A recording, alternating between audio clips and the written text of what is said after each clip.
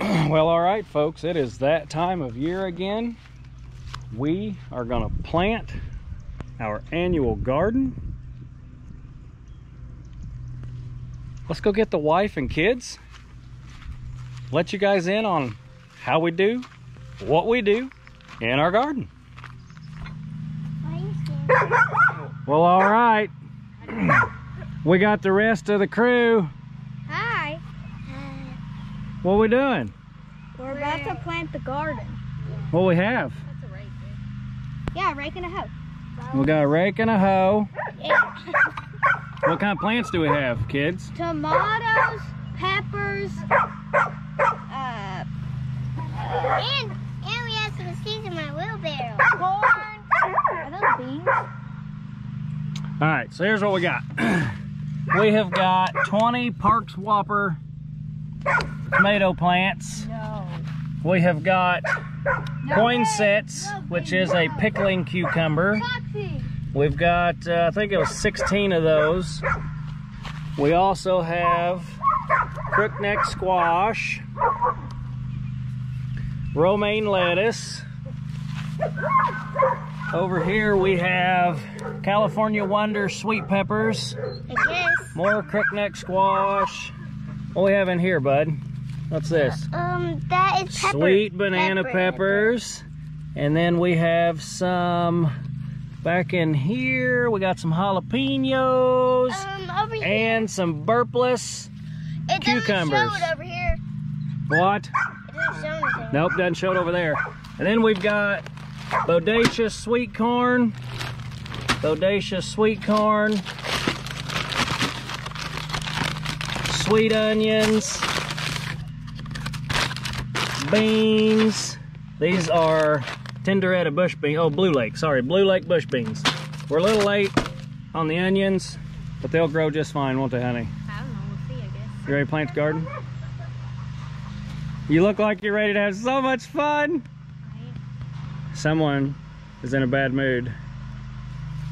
Are you pointing at yourself? Nope. Camera's pointing at you and the finger's pointing at you in the camera. I don't think so. Smile, babe. It's fun to plant the garden. No more work after you plant it, right? I planted it all by myself last year. You did. So does that mean we're just we're gonna go drink cold beer while you're planting the garden? Kind of figuring that's what I'll happened. drink orange juice. You'll not- drink orange not juice. beer. All right, let's get this sucker planted. All right, we have got our tomato cages placed. We like to place the cages first so that we can make sure that we have enough room. There's one down there, Felicia's moving the last one, but we make sure we have enough room to till in between on the outside the, the actual cages. As you can see, we can till between each one of them this way also. Tilling is a lot quicker and easier than hoeing. Now these, they might get moved around a few inches or so, but this is how they'll be placed. And now we get to plant the tomatoes. What do you guys think? You ready for that? Yeah, what's wanna your all what's your all's main job while we're while we're planting if if we don't need you right that minute to help plant? Um, Why is the tractor sitting there with the bucket on it? you have to put rocks in the bucket. Where do the rocks come from? The garden. Because Daddy plowed it this year, didn't he? I Turned it over. Eh, we're not so much worried about those, but these, if you see anything that size or bigger, we want to take it out it. and put it in the bucket. That was a good shot, wasn't it? Huh? Is that a good shot? All right, let's get some tomato plants planted.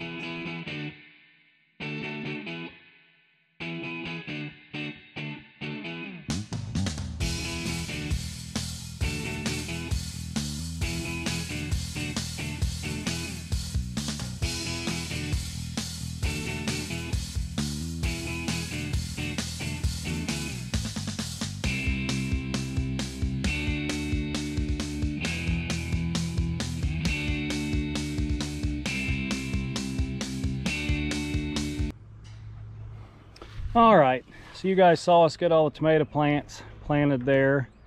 I said we had 20. We decided to leave two out, which gives us three even rows of six. So that gives us 18 tomato plants. The next thing that we're gonna plant is poinsettias, which as I mentioned earlier is a pickling cucumber. And Felicia loves to make homemade pickles. And we love it when Felicia makes homemade pickles. But these are a vine type of cucumber. They, uh, they love to grow up. And we have a little bit of a trick that we do that ensures the kids can find them and pick them a lot easier. Right, babe? Yep. All right, let's show them what we do. So what's our trick, honey? We just lay a hog panel on the ground, leave it flat. Is that what we do? Yep. We do a little more than that, don't we? So what we do is we take a hog panel. These are basically 12 foot long, four and a half foot tall. And we make a trellis out of it. So Felicia's gonna stand on this end. I'll walk over here. And while she's standing on that end, I'll flex it. Remember, you gotta stand just on the one strand because I'm gonna push it up to you. Huh? That's all you were on? This might be hard to do holding the camera. I'll hold it. You'll hold it? Why don't you go to that end then? Yes, sir. Sound like a plan? Thank you. I'm glad you finally figured that out. Mm-hmm.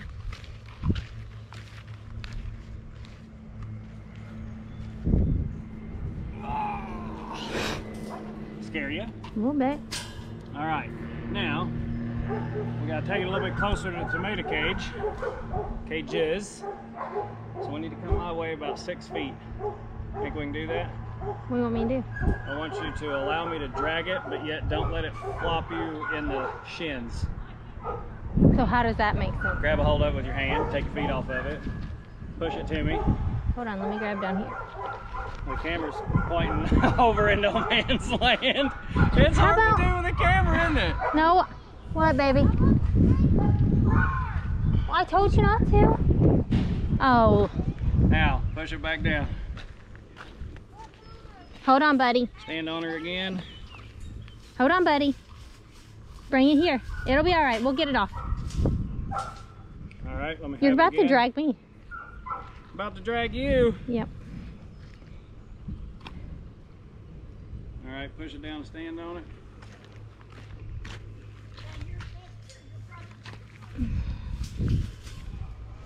All right, where's that? This might be the best videoing you ever had. Yeah, it is. Perfect camera woman over there. Come here, buddy. I'll put some Uh, sunscreen on you. We need to go uphill just a little bit, so we got the tiller room at the bottom there. Matt does all the tilling. Hey, I can make it really, really tight to where you run into everything with your hands if that's what you want. Mama, Okay. I already done What do you think? You put sunscreen on yourself?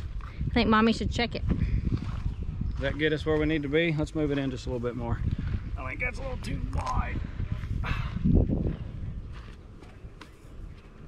Look how romantic he is putting up us a little arch. Huh? We can walk right through that holding Mhm. hands. What do you think? hmm See, just when you said, you're, you're never romantic.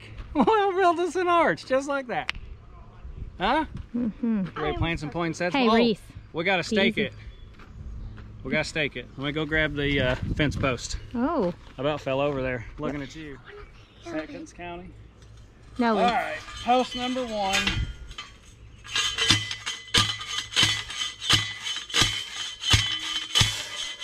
Looks like that could flop out. If it Yeah, I think there's a rock. or that's an excuse for being weak. Huh? Are you just being weak? Oh, I'm so weak I broke it. You break a lot of things. That's in there good enough. Hmm. Okay, stake number two. I love it that you're so. Um, your criticism is just so great. I want video it. Such positive Mommy. criticism. I did. I said you're so strong. Maybe it's because you're so weak. it. Mommy, can you please video Hmm. it? Reese, you're hot, buddy. Because he looks it. like his dad. Think that's it? Yep. Isn't that right, buddy? No. Oh, stake number two.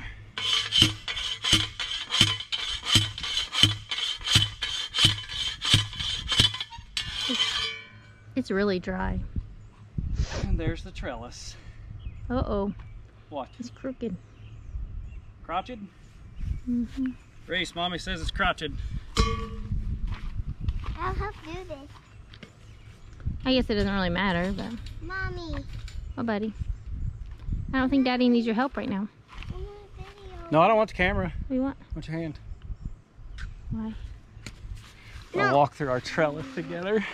Good Lord. Oh, look, that's a trellis just for us. That's pretty much how he got me to marry him too. Dragged me down the aisle. Drag you down the aisle. What? Video it. Dude, you're too all over the place. You make my people go crazy. I want to video it. Watch. Wait till you watch mine. Huh? I Well, there we go. We got the trellis. Reese, why do we have the trellis? to, to hold it up. To hold it up, but look, What up, you stand right there. How many times have you picked pickles from inside that trellis? Because they just hang down on the inside, don't they? Mm-hmm. What's a pickle feel like? Bumpy. Bumpy and pokey, isn't it? But you still like getting them because you like to eat them. Yeah. Reese's favorite is homemade pickles. This boy right here. find? Are they hard to find? It's right here. They're only hard to find if mommy and daddy don't build the trellis, right? So real hard. All right, you ready to plant some poinsettias?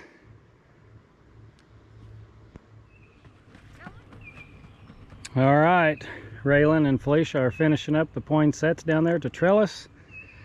We've got our crooked neck squash, crooked neck squash, and our burpless cucumbers right here in this area above the trellis. And then we're gonna do a line of peppers here. So let's get this going. All right, we've got our crooked neck squash in, crook neck squash in. We've got our burpless cucumbers, a couple of pepper plants to fill in that bottom section.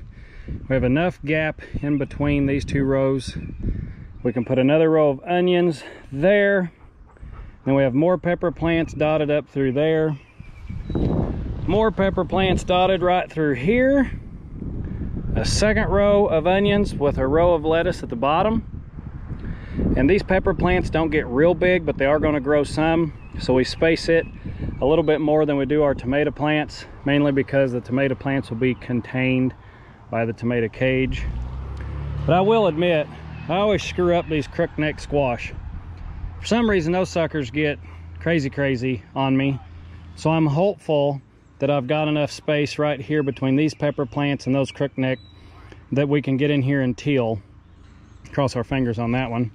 And then right down here at the bottom, these burpless cucumbers, they're you know viney as well, just like the poinsettias down there. So I've got a nice long gap in between them and the crook neck so that they can grow up this hill and we can pick them and hopefully they stay separated from the crook neck. That's uh, a big hope we shall see. So what we have left now is corn and beans. And here at our home, that south, right at the camera here is north. So I like to plant my rows this way. It just seems to grow better than planting my corn east and west. And I've always been told by old farmers, plant your long rows north and south. These aren't really that long of rows. However, Still gonna keep them north and south. And then also, you can't just plant one row of corn or it won't produce very big cob, if any cob at all. They've got to cross pollinate. So you wanna always plant at least two rows.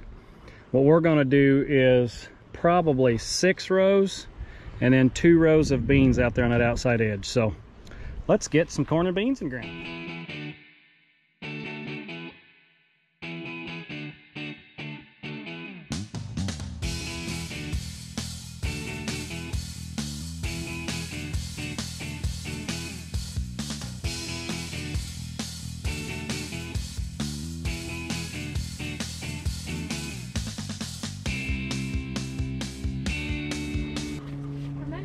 Well, I got my last helper for the day.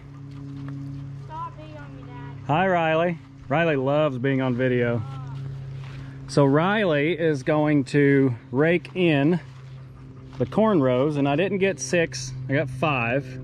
Almost said four, but anyway, anyway, you can see the red speckles in there. Riley, show them how you rake it over, sweetie. Remember, too much is a bad thing, not enough is a bad thing. So basically we just want to cover it up just enough to where it holds moisture in there, but yet holds heat in there and makes the germination process start. So we're not trying to get a whole lot of dirt on top of them, but a little bit. Once we get that covered up, we're basically done with the planting process we've got to go get some straw. I forgot straw when I went and picked up all the plants, but we're gonna straw all of the tomatoes. Basically, we're gonna straw everything except for the corn and the beans. And I don't know if you guys have ever worked in sweet corn before out of your own gardens or anybody else's, but I highly recommend to leave a couple of rows at least. If you're doing six, leave three unplanted. If you're doing four, leave two unplanted. Uh, give these about a week and a half to two weeks to start because working in corn gets tiring. And basically what this allows is those first three rows will start growing and then we'll plant the second two rows for a total of five. So we'll work in corn for a week, harvesting the first three rows, and then we'll have a couple week break because we're planting them two weeks apart before we gotta work in corn again. Because when you are cutting corn off the cob and you're blanching corn and you're stripping all, you're shucking everything, it just, it gets tiring you're wanting to go do other things other than harvest your corn, but you also want to get the fruits of your labor. So we make time for it, but it does get tiring. It gets old. Everybody gets grouchy and nobody really wants to do any more of it. So if you give yourself a two week break, we'll harvest those first three, harvest the last two, and then we only ended up with one row of beans. This, this dirt over here, well, let's be real. All this dirt is not the greatest dirt, but it's our dirt. So we utilize it and it does grow things pretty well. We don't want rocks on top of them. I'm kidding, you just uncovered a rock. Why don't you smile? Riley, everybody wants to see you smile. gonna take this. Look, oh my gosh, she's smiling. Oh no, Riley's smiling, the 13 year old smiling. Anyway, we got only one row of beans here and back to the dirt. This isn't good dirt, but it's our dirt. There's a lot of rocks in it. We've made it better over the years. There used to be uh, the first or second brand new house that was ever built on this property was literally right here. And uh, someone in the family decided to burn it right here. So we've uncovered a lot of pretty cool things over the years, glass included, which isn't all that cool. However, it's our dirt. We're going to work with it, and uh, it grows everything that we need every year, right, Riley?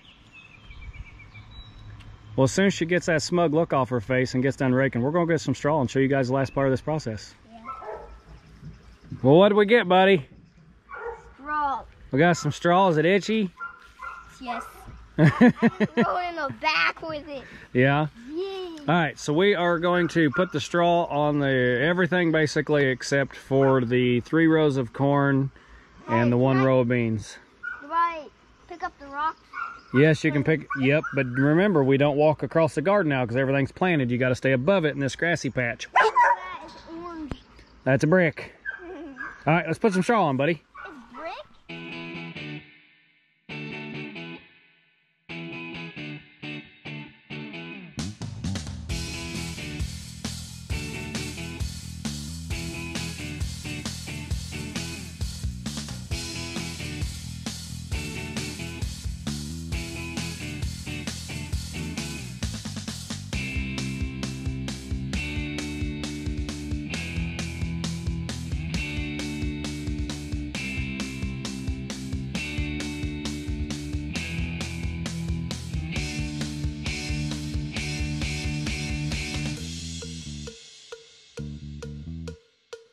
Right, everybody, that is garden planting minus two rows of corn 2022.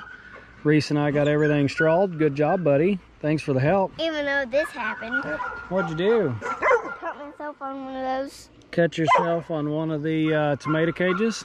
Yeah. So yeah, there's some straw in the tomato cages and there's some straw on the trellis, but the wind will take care of that. And normally, the very last part of this process is running the sprinkler to water everything to ensure that this dry ground And doesn't we- dry out the plants. And we get to play in the sprinkler. Sometimes you play in the sprinkler. However, they are calling for rain and it has cooled off significantly. So I am going to make the assumption that it is going to rain or not.